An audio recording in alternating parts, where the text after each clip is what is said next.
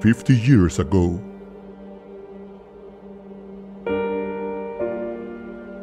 A plane from the Costa Rica National Geographic Institute was taking precision photos for a hydroelectric project at an altitude of 10,000 feet. And a young boy saw an UFO for the first time in his life. Ten years later, during a routine inspection of the material, something was discovered. The most analyzed UFO piece of evidence in the world.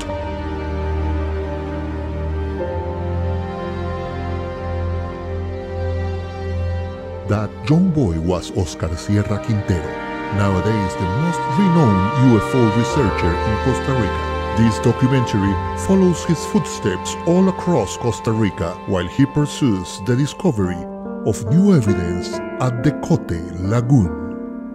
Los escépticos argumentan que del tema OVNI no existen pruebas científicas reales y concretas. Yo les digo que están muy equivocados, porque esas pruebas existen y en cantidades.